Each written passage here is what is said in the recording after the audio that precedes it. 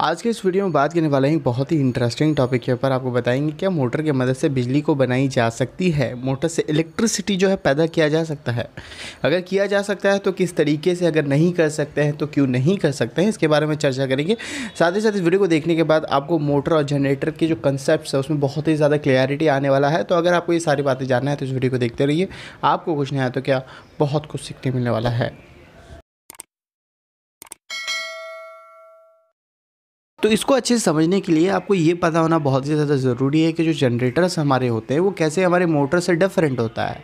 अब कुछ लोग सोच रहे होंगे कि भाई जो हमारे जनरेटर होते हैं, वो मैकेनिकल को इलेक्ट्रिकल में कन्वर्ट कर रहे होते हैं और हमारे मोटर जो है इलेक्ट्रिकल को मैकेनिकल में कन्वर्ट कर रहे हैं। तो ये बातें तो है भाई, ये डेफिनेशन है, ये तो ठीक है बट हम ये समझना चाह रहे हैं कि कंस्ट्रक्शनल पॉइंट ऑफ़ व्यू से अगर आप देखते हैं तो लगभग दोनों सेम होता है। तो फिर मतलब क्या डिफरेंस है? तो अगर वाइंडिंग को अगर आप देखेंगे तो दोनों में जो है आपको फ़ील्ड वाइंडिंग देखने मिल जाएगा, आपको आर्मेचर वाइंडिंग देखने मिल जाएगा तो फिर डिफरेंस कहाँ पर आता है।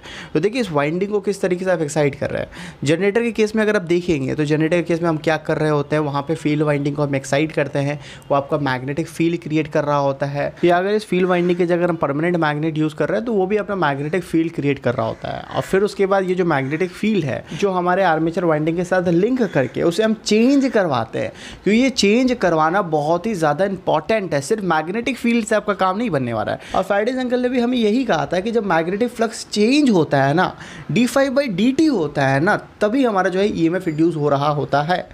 तो इक्वेशन से भी आपको ये सारी चीज़ें समझ में आ रहा होता है। तो इसे चेंज कैसे करवाते हैं? तो जनरली अगर आप सिंक्रोनस जनरेटर की बात करेंगे, जो बड़े बड़े पावर प्लांट में हम सिंक्रोनस जनरेटर यूज़ में ले रहे होते हैं तो वहाँ पर बहुत बड़ी बड़ी टर्बाइन आपको देखने मिलेगा। जैसा कि मैंने आपको दिखाया अभी था तो उस टर्बाइन की मदद से इस रोटर को, जिसके ऊपर हमने फ़ील्ड वाइंडिंग हमने किया था डी एक्साइड किया था करंट उसके अंदर फ्लो करवा रहे तो मैग्नेटिक फ़ील्ड क्रिएट कर रहा था आर्मेचर वाइंडिंग से लिंक करके था तो उसे हम घुमा रहे थे तो हमारा जो है मैग्नेटिक फ़ील्ड जो हमारा मैग्नेटिक फ्लक्स है, जो आर्मेचर से लिंक करके वो चेंज होता है और हमें आउटपुट में जो है आर्मेचर वाइंडिंग में जो है हमें ई एम इंड्यूस होता हुआ हमें दिख रहा होता है। तो ये मैंने आपको सिंक्रोनस मोटर या जेनेटिक स्टेशन में जो जनरेटर होता है, वो किस तरीके काम करते हैं, उसका एक डेडिकेटेड वीडियो बना करके अच्छे से समझाया था। तो इन सबको कंक्लूड करो। तो यहाँ से मैं दो चीज़ आपको बताना चाह रहा था कि जैसा कि देखा कि जनरेटर में हमने रोटर को जो है खुद से रोटेट करवाया, किसी प्राइम ओवर से, किसी टर्बाइन से, और दूसरा यहाँ पे जो वाइंडिंग है, वहाँ पे फ़ील्ड वाइंडिंग को सिर्फ़ हम एक्साइड कर रहे थे, उसके अंदर से करंट फ्लो करवा रहे थे। बट हम आर्मेचर वाइंडिंग को टच नहीं कर रहे हैं। वहाँ पे हम कोई करंट खुद से नहीं फ्लो करवा रहे हैं। वहाँ पे हमें जो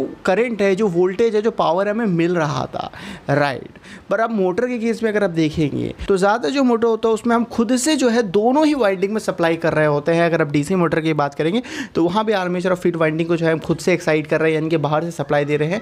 अगर आप सिंक्रोनस मोटर की बात करेंगे तो वहाँ भी जो है हम खुद से सप्लाई कर रहे हैं। सिर्फ़ आपका इंडक्शन मोटर ही एक ऐसा है, जहाँ पे सिर्फ़ हम स्टेटर वाइंडिंग को एक्साइट कर रहे होते हैं, और रोटर कंडक्टर में जो है आपका जनरेटिंग एक्शन की वजह से आपका ई एम इंड्यूस होता है, फिर करंट सर्कुलेट होता है, फिर उसके बाद जो है वो एक्सपीरियंस करता है टॉक एक्सपीरियंस करता है वो रोटेट करता है। तो अगर इस मोटर को आपको जनरेटर की तरह ऑपरेट करवाना है इससे बिजली पैदा करना है तो सबसे पहला कोशिश हमारा क्या रहेगा?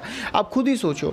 सबसे पहला कोशिश हमारा ये रहेगा कि हमारे पास दो वाइंडिंग है फ़ील्ड वाइंडिंग है आर्मेचर वाइंडिंग है, और हमारे पास ऐसा ऑप्शन है कि हम सिर्फ़ बाहर से फ़ील्ड वाइंडिंग को ही एक्साइट कर सकते हैं।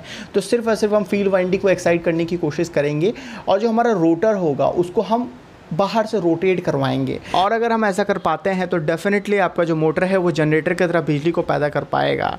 जैसा कि बीएलडीसी मोटर है तो आपको पता है बीएलडीसी मोटर में हम परमानेंट मैग्नेट को यूज़ में ले रहे होते हैं तो वहाँ पर आपको फ़ील्ड वाइंडिंग की ज़रूरत नहीं है। क्योंकि जो फ़ील्ड वाइंडिंग क्या कर रहा था, उसके अंदर से जब एक्साइट कर रहे थे, उसको करंट फ्लो करवा रहे थे तो वो मैग्नेटिक फ़ील्ड क्रिएट कर रहा था।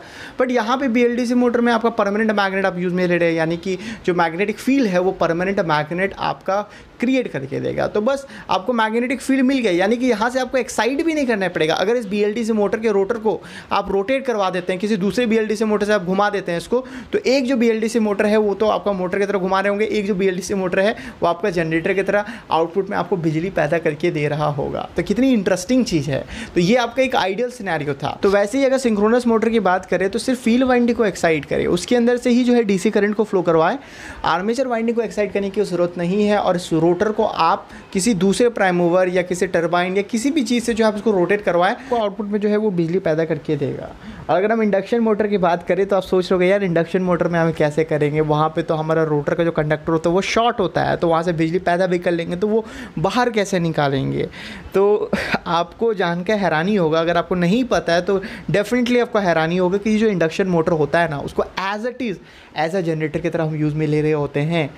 वहाँ पे आपका जो स्टेटर वाइंडिंग होता है ना, वहाँ से ईएमएफ को इंड्यूस कर रहे होते हैं। तो फिर आप सोच रहे होगे कि वहाँ से ईएमएफ कैसे इंड्यूस करेंगे? मैग्नेटिक फ़ील्ड फिर कहाँ से आ रहा होगा? तो एग्जैक्टली exactly हो क्या रहा होता है कि अगर आप किसी भी इंडक्शन मोटर की जो रोटर है, उसको सिंक्रोनस स्पीड से ज़्यादा स्पीड में अगर आप उसको रोटेट करवा देंगे तो वो जो आपका मोटर है, वो जनरेटर बन जाता है और उसी जनरेटर को हम इंडक्शन जनरेटर कह रहे होते हैं। तो इंडक्शन जनरेटर कुछ नहीं है, वो अलग से हमने उसको डिज़ाइन विज़ाइन नहीं किया है।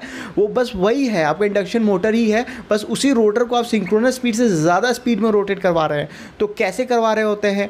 आप किसी दूसरे प्राइम मूवर की मदद से आप उसको रोटेट करवाएँगे, किसी टर्बाइन की मदद से रोटेट करवा पाए और जनरली इसको हम विंड टर्बाइन के अंदर यूज़ में ले रहे होते हैं। वो बड़ी बड़ी आपने देखी होगी, जो बड़ा बड़ा ब्लेड्स होता है, तीन ब्लेड्स होता है, जो हवा की मदद से रोटेट कर रहा होता है। तो वो एक टर्बाइन है, वो आपके रोटर के शाफ्ट के साथ कनेक्टेड होता है गियर की मदद से। वो जब रोटेट हो रहा होता है तो आपके रोटर के शाफ्ट को भी रोटेट करवा रहा होता है। और जब वो सिंक्रोनस स्पीड से ज़्यादा स्पीड में रोटेट करने लगता है तो आउटपुट में आपको बिजली पैदा करके दे रहा होता है। तो कुछ लोगों को सिंक्रोनस स्पीड समझ में नहीं आ रहा होगा तो आप समझिए सिंक्रोनस स्पीड क्या है।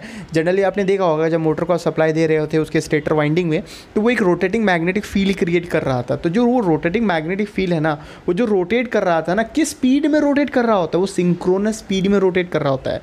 जैसे एन से डिनोट कर रहे थे N S to one twenty F by P तो वो जो स्पीड है ना, उस स्पीड को हम सिंक्रोनस स्पीड कह रहे हो, जो मैग्नेटिक फ़ील्ड जिस स्पीड से रोटेट कर रहा है। तो जिस स्पीड से मैग्नेटिक फ़ील्ड आपका रोटेट कर रहा होगा, उससे ज़्यादा स्पीड में अगर आप रोटर को रोटेट करवा देते हैं तो जो करंट का डायरेक्शन होता है ना आपके स्टेटर वाइंडिंग के अंदर, वो रिवर्स हो जाता है। और ये एक्जैक्टली काम कैसे करता है, ये किसी और वीडियो में आराम से दस मिनट लेकर के आपको अच्छे से एक्सप्लेन करेंगे, पर आपको ये समझ में आ गया कि हाँ भाई इंडक्शन मोटर को भी जो है, आप एज अ जनरेटर जो है, हम यूज़ में ले सकते हैं और इसको यूज़ में लिया जाता है इन जनरल तो इन सबको अगर कंक्लूड करें तो कहने का मतलब यही है कि डेफिनेटली आप यूज़ कर सकते हैं। ज़्यादातर मोटर को जो है, आप एज ए जनरेटर आप यूज़ में ले सकते हैं, उससे बिजली पैदा कर सकते हैं। आपको करना क्या होगा कि उसकी जो रोटर है, उसको आप रोटेट करवाना पड़ेगा। बाहर से किसी प्राइम ओवर की मदद से आप रोटेट करवा पाएँगे और आपको जो है उसकी वाइंडिंग को मैग्नेटिक फ़ील्ड क्रिएट करने के लिए जो है एक्साइट करना होगा। अगर ये दोनों चीज़ आप कर सकते हैं तो आप एक तरीके से उसको जनरेटर ही बना रहे होते हैं और बहुत ही आराम तरीके से जो है आप बिजली को पैदा कर सकते हैं। अगर आपको जानना है कि किस तरीके से ये जनरेटिंग स्टेशन में ये पावर जनरेट कर रहा होता है पावर स्टेशन में कैसे सब कुछ हो रहा होता है तो मैंने इसके ऊपर एक डेडिकेटेड वीडियो बनाया है, आप ऊपर वाले वीडियो को क्लिक करके देख सकते हैं। और ये बिजली किस तरीके से हमारे घरों तक आता है इलेक्ट्रिकल ग्रिड क्या होता है, वो जानना है तो आप नीचे वाले वीडियो को क्लिक करके देख सकते हैं। उम्मीद ये वीडियो पसंद आया होगा।